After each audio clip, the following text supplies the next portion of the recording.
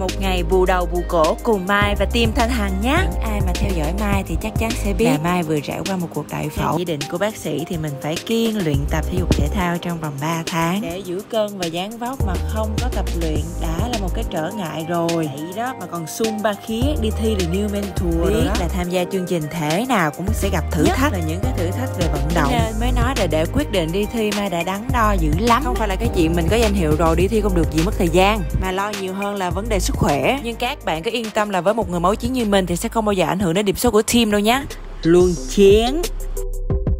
Địa điểm luyện tập tiếp theo Jean Beauty. Chỗ này là chỗ của một chị bạn. Hay đến đây đặt lịch để làm gì để làm gì biết không? Chăm sóc cơ mặt. À, à, à.